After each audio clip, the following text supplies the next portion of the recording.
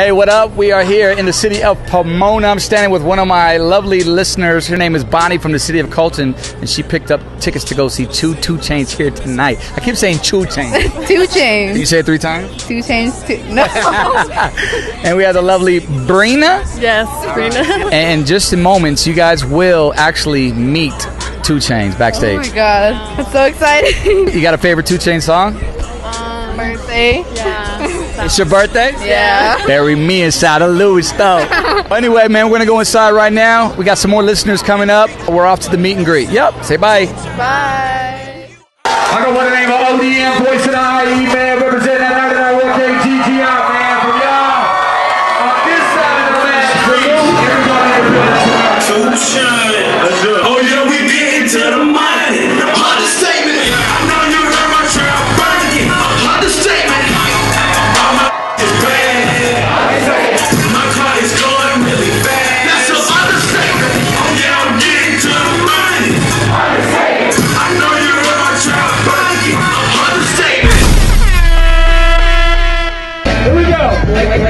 The. The.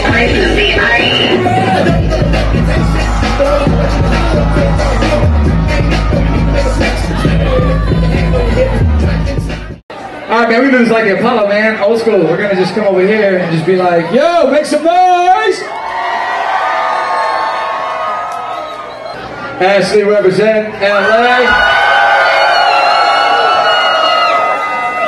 Your winner. Let's give it up for Ashley. There you go, mama. All right, man, we wrapping up here at the Two Chainz concert in Pomona.